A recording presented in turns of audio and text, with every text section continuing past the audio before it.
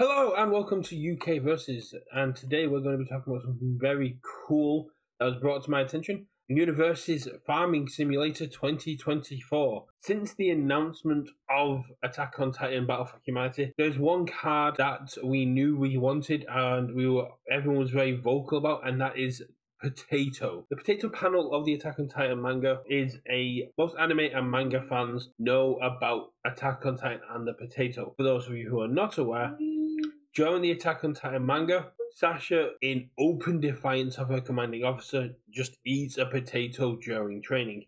And when stared down and asked what she's doing, she just doubles down and goes, I'm eating a potato. Do you want some? Does not end well for her, gotta say. But the sheer, absolute, unadulterated defiance of that moment of Sasha just back around and find out moment, it endeared her to the community. And as soon as the set was announced, everyone wanted the potato.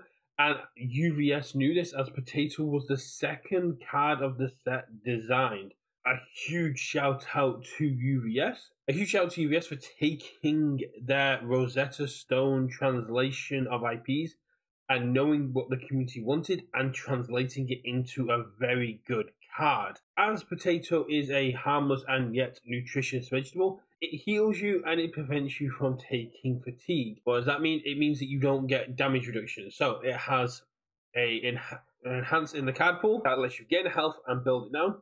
Amazing. And it has a response that allows you to flip it. And if your attacks damage would be reduced. It doesn't. This is very important for the potato farming. What do I mean by potato farming? I mean that we are going to plant, harvest, and repeat.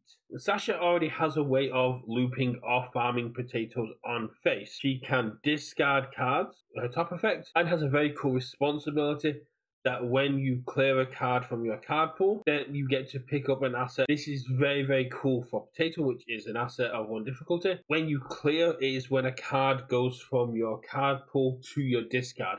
Any other means does not trigger Sasha, so you cannot loop Potato off Potato, unfortunately. Because of Sasha's symbols, uh, and life. There are lots of tools within Attack on Titan Battle for Humanity that are self clearing cards. It is one of the symbol identities that Air has walked away with. There are lots of cards that let you clear. There are lots of cards that clear themselves or clear other cards. And then you also have, there are lots of cards that let you clear other cards. But once you've picked it up, once the potato gets into your stage, because just discarding and picking up the potato isn't enough. Yes, it gives you a good hand size, but we want to be gaining that health gain ability. We want to be gaining that response to get our attacks getting through. We want to increase our irrigation and crop yield of this potato. So rather than just having Sasha eat the potato and then go get another potato from the discard. We want Sasha to be farming these potatoes. So once the potato hits our stage, there is a very, very cool interaction with Villainous Teamwork.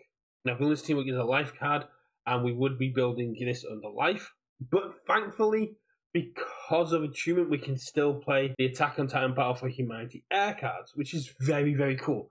Attunement is what's opening up these kind of opportunities. Villainous Teamwork is an attack from Undaunted Raid, which has a very cool ability that allows you to destroy one asset and even play stage and gain health equal to asset's difficulty. So you destroy Potato, you gain one health, and then you can use some clear effects to pick up Potato. And then by using cards like Tetra Terror Onslaught, you can keep picking up Villainous Teamwork, and you can keep looping Potato into your discard and clearing it using cards in your stage, as well as those uh, tuned cards we spoke about before. But that is only one means of growing our potatoes from our stage. Thanks to that response, if our opponent is playing non-character damage reduction, so if they're playing deflect, if they're playing weapons clash, any of this damage reduction that's out there, you can negate it, you can get a foundation, and thanks to things like ruin, your opponent can destroy it, and you can also destroy it yourself as we're building on the life with things such as Nejire, Chan of the Big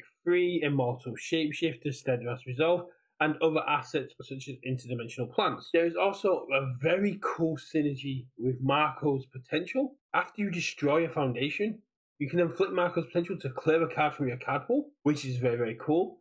You get to trigger Sasha to pick up Potato, And if it's from your opponent's effect, you get to draw a card. So if you get ruined, you can then destroy your face down potato, draw a card, pick up potato. That is a hell of a loop. It is a flip effect, but luckily we're running life, so we can run things like falling hail strike, which allows us to unflip Marco's potential. And it's very, very cool. And this is a deck of annoying synergy and life gain that you can just kind of sit there farming your opponent, kind of annoying them. Once the farm is set up, it is very hard to interact with because the only way to stop the response is for your opponent not to play damage reduction, which means your attacks are coming in for more power. The only way to stop villainous teamwork is to kick it before you get your first enhance, so you'd need things like Genkai's training enhanced negation, and the only way to really stop Sasha from picking up is to remove Potato from the discard. But there are things like Deception, Dagger, and Sins of the Past which allow you to do that. It's very hard to disrupt this farm. The biggest thing about that is if your opponent just slams you with Titan sized attacks and just wipes out your health total. But we don't need to worry about that. We're farmers, we're gaining health, we're chilling, we're having some fun we're working from dawn till dusk farming our potatoes, and that's what we want to do. This is a very cool deck idea. It's kind of already built itself. You've got your foundation destruction, you've got your assets, you've got the attacks that you want to be running that clear themselves or unflip your foundations to keep this synergy going. And I think it would be a very annoying little combo deck. I don't expect this to pop up at regionals. I don't expect this to be a very competitive deck. But I think it's a very fun deck you could play with friends or at locals. That could be very annoying for a nice long game where you can kind of just chill out while your opponent's trying to kill you. Some potatoes. If you don't like and subscribe, this creeper will explode. Five, four, three, two, one. You did it. Good. Will you be farming potatoes as well? Have you found a more efficient way to do this combo? Do let me know. Do you have any other combos that you would like to see highlighted for the community? I'm more than happy to cover them.